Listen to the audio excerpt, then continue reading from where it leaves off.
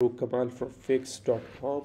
Today we will discuss uh, why Adobe Illustrator text outline is not working. So whenever you have got a text item and you want to outline it, it's very simple. All you have to do is click on object, then go to expand and then select according to your requirement. You want to just expand the object uh, or fill or its stroke that's up to you. So it's very straightforward and you can outline any text item. But sometimes it won't work. And the reason for that is that for example if you are selecting the text item inside uh, the, the text tool whenever you select text item inside the text tool this uh, text tool tool type will be in the select mode. And then you go to object and expand. It won't work. So all you have to do is click on the selection tool which comes with a V. And then you go to object and expand.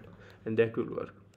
Uh, for example if you want to outline uh, a small portion of this text outline uh, for that then you will have to create another duplicate of uh, out of it and uh, isolate the part you want to outline. For instance if you want to outline only the outline part of this then just uh, command C copy or command X cut and then I will just paste, paste it. Then sorry that's in the same. Now it's a different uh, different item. And if I want to outline this outline only then I will select this outline with selection tool and then go to expand and expand it.